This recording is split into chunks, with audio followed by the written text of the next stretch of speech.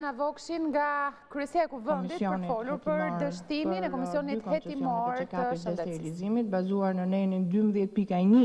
e Ligjit për Komisionet Hetimore, është mbledhja e gjashtë, duhet të ishte mbledhja e gjashtë e Komisionit Hetimor. Ndërkohë, për të katërtën herë radhazi, sikurse ju e patë, deputetët e maxhorancës vijuan në mënyrë arrogante të bojkotojnë punimet pra mbledhjet e këtij komisioni. Sot kemi punuar me deputetët dhe me ekspertët ligjorë pranë deputetëve të opozitës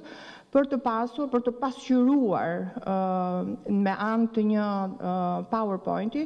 të gjithë ecurinë e punës së komisionit, si dhe shkeljet ligjore dhe kushtetuese nga ana e maxhorancës, të gjitha të rreshtuara. Do mundohemi që t'i kalojmë shumë shpejt, secili prej deputetëve prezent dhe ekspertët do të bëjnë një prezantim për secilën shkelje, shumë shkurt, pak minuta dhe nëse mediat do kenë pyetje apo çështje të ndryshme, ne jemi të gatshëm për t'ju përgjigjur. Atëherë, nëse shihni dhe në monitor,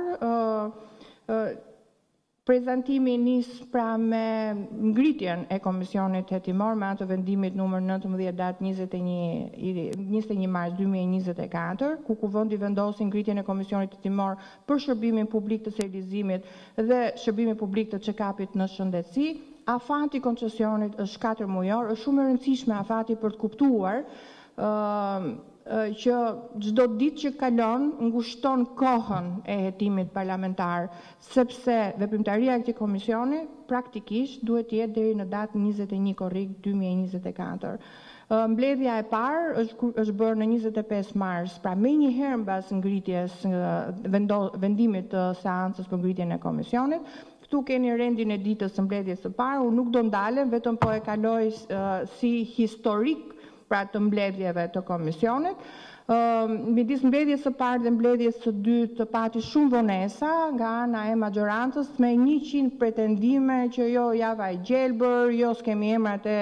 ekspertëve dhe në vend që të mbahej mbledhja e radhës mbas tre katër ditësh sikurse u vendos në mbledhjen e parë të komisionit, ato e vonuan gati dhjetë ditë. Mbledhja e dytë në dy prill me rendin e ditës që keni përpara, po ashtu mbledhja e tretë u thirr të nesërmen bazuar në nenin tridhjetë e dy pika dy e Rregullores dhe këtë fat kanë pasur mbledhja e katër me datën pesë prill Mbledhja e pesë me datën nëntë prill, mbledhja e gjashtë që është mbledhja e sotme pra, me datën dymbëdhjetë prill, të katërta të fundit të bojkotuara nga ana e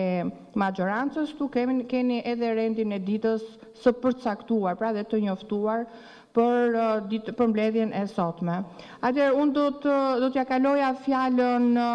kolegëve të mi për të shumë shkurt të prezantojnë shkeljet. Unë po e filloj me shkeljen e parë, që që mbledhjen e parë të vendosur, pra që me 25 mars, që në minutën e parë filloi shkelja e parë e deputetëve të maxhorancës, të cilët donin që të mos mbahej kjo mbledhje me pretendimin që Vendimi i miratuar nga seanca e datës njëzet e një mars nuk kishte një numër, pra pavarësisht se nëntëdhjetë e pesë deputetë kishin votuar për ngritjen e komisionit hetimor, ata kërkuan që të mbyllej mbledhja, të shtyhej sepse mungonte mungonte pra numri i vendimit. Shkelja e dytë, Shkelja e dytë dhe shkelja e tretë po atë mbledhje që do ta prezantojë Mons Pau. Po, faleminderit, sikurse kam. Ndoqet në një pjesë të fjalës së saj zonjën Vokshi, do të shkojmë.